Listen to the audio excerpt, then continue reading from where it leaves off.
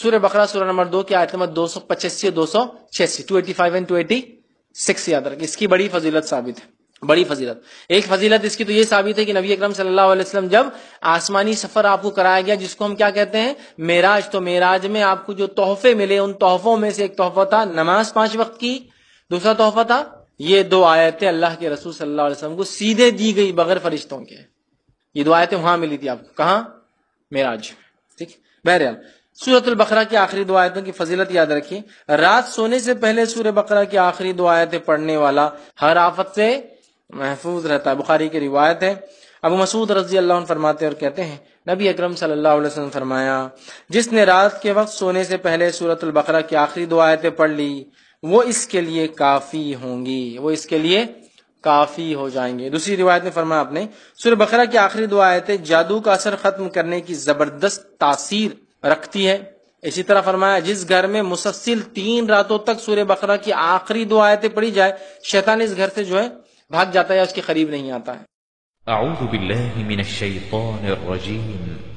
بسم اللہ الرحمن الرحیم۔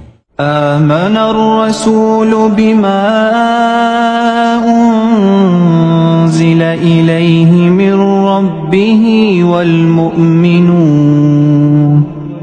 كل آمن بالله وملائكته وكتبه ورسله.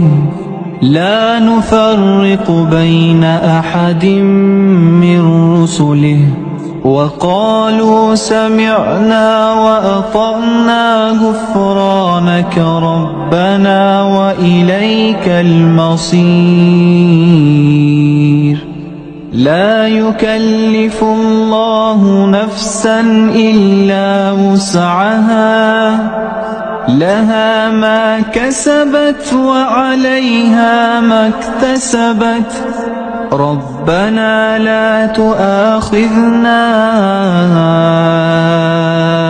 إن نسينا أو أخطأنا. ربنا لا تؤاخذنا نسينا أو أخطأنا.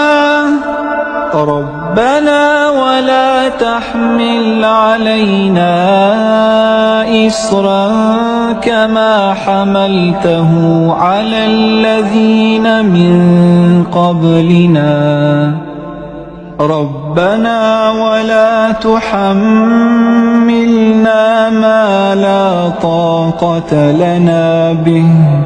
واعف عنا واغفر لنا وارحمنا أنت مولانا فانصرنا على القوم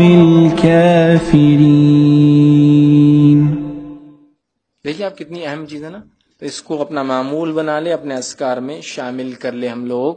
یہ دو آیتوں کو، اور جو پھر مانگا جاتا ان کے پڑھنے کے بعد، اللہ تعالیٰ وہ رد نہیں کرتا۔ نبی اکرم صلی اللہ علیہ وسلم بھی جو ہے اس کو بہت کثرت سے پڑھا کرتے